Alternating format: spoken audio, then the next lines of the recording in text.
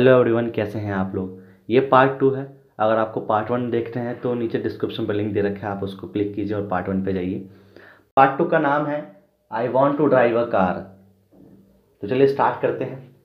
मुझे ना एक मोटर मैकेनिक बनना है। क्या तुम्हें गाड़ी चलानी आती है? जी नहीं आती, पर सीख लेंगे। इसमें क्या दिक्कत है?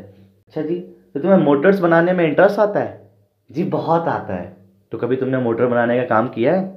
जी, कभी नहीं किया। मैं तो ये बैंगल मेकिंग का काम करता हूँ। इस बार मैं एक ऐसी जगह आई थी, जिसको लोग फिरोजाबाद कहते हैं। फिरोजाबाद पूरे इंडिया की एक ऐसी जगह है, जहाँ पे ग्लास फर्नेंस, कांच पिघलाने का काम बहुत फ़ेमस है।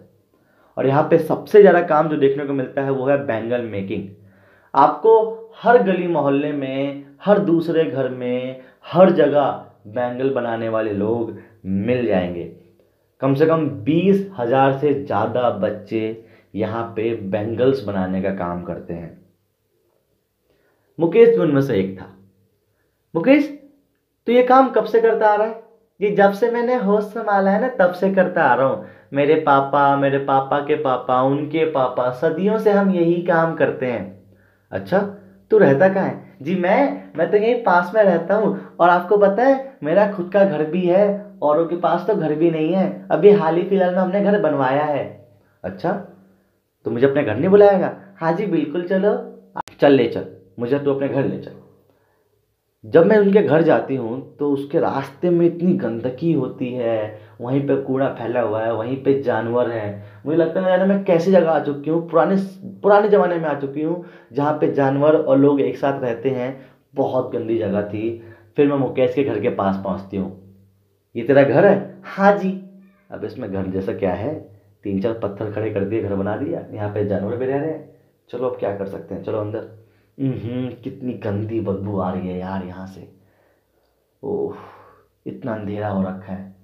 मेरी नज़र सबसे पहले एक औरत पे पड़ती है, एक जवान औरत पे। ये कौन है? जी ये ये हमारी भाभी हैं, मेरे बड़े भैया की पत्नी। अच्छा अच्छा अच्छा। काफ़ी जवान है in the sense child marriage किया था यहाँ पे। खैर, ये भी एक गलत चीज़ है। इसकी आँखों में भी सपना है। यहाँ देखो कितनी धूल है, कितनी गंदगी है, धुआँ है, फिर भी ये स्माइल कर रही है। मुकेश की फैमिली में तीन मैन हैं। एक इस बहू के हस्बैंड दूसरा मुकेश और तीसरा इन दोनों के पापा। काफ़ी हार्ड काम करते हैं अरे बैंगल मेकर्स वाले। सुबह से लेके शाम तक लगे रहते हैं। खैर, ये काम करते क्यों हैं ये लोग?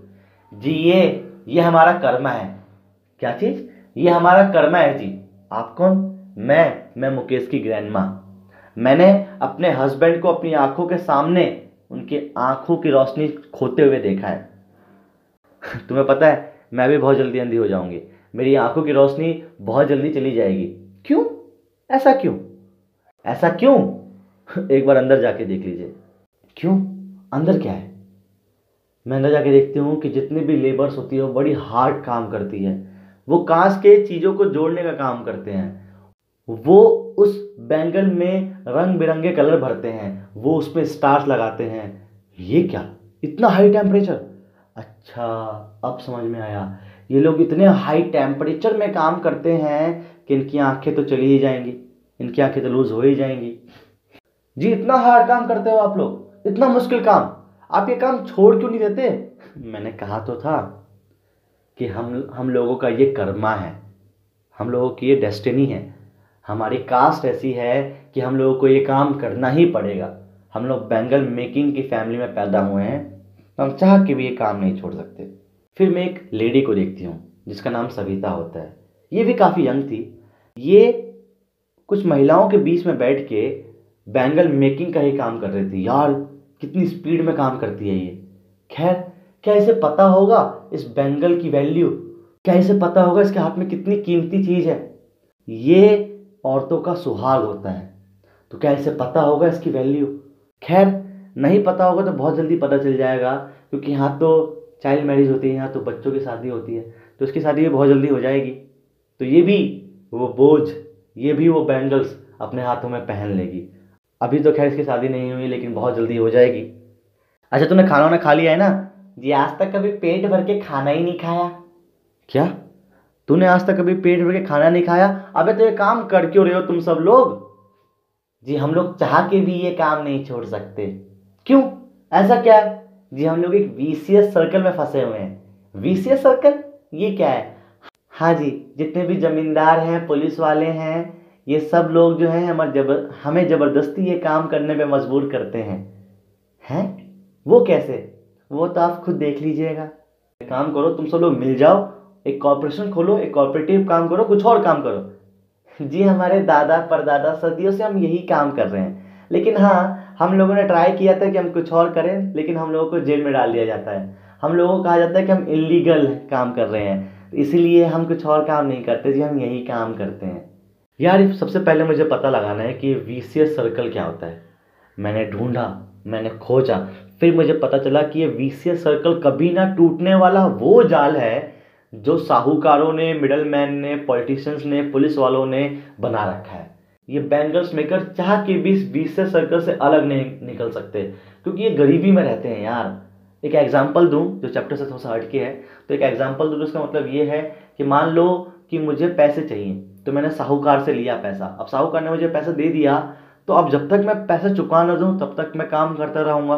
तो इसीलिए कभी ना टूटने वाला जाल है, जिससे से, जिसमें से ये बैंगल मेकर्स निकल नहीं पा रहे। भाई मुकेश मुकेश तू यार ये काम छोड़ दे यार, वरना एक दिन तेरी भी आँखें चली जाएँगी, तेरी भी, तेरा भी हाल इन जैसा हो जाएगा। हाँ जी, मैं ये काम छोड़ने वाला हूँ। सही में? तू सही में ये काम छोड़ने वाला है? हाँ जी, मैं तो एक मोटर मैकेनिक बनना चाहता हूँ। अरे वाह मोटर मैकेनिक हाँ जी, ये रोड देख रही हो आप? इस रोड पे जो गाड़ियाँ चल रही है ना, मेरा बड़ा मन करता है कि मैं इस गाड़ियों को चलाऊं। I want to drive a car अरे वाह, ये सुन के मुझे बड़ा अच्छा लगा। लेकिन कभी तूने एलोप्लेन चलाने के बारे में नहीं सोचा? एलोप्लेन हाँ ये जो हवा में उड़ते हैं ना एलोप्लेन इनके बारे में नहीं सोचा कभी चलाने को? जी नहीं। क्यों? सोचना ये भी तो अच्छी चीज़ है। जी नहीं। फिरोजाबाद में ना एलोप्लेन बहुत कम उड़ते हैं, लेकिन गाड़ियाँ बहुत चलती हैं, इसलिए मैं गाड़ियाँ चलाऊँगा। चलिए थैंक यू सो मच यही था आपका पार्ट टू ठीक है? तो चलो फाइनली अब तो ख़त्म। अब बस परीक्षा पे चर्चा होगी, ठीक है? सत्ताईस तारीख से पहले। थैंक यू सो मच और keep share and please subscribe my channel और all the best for your exam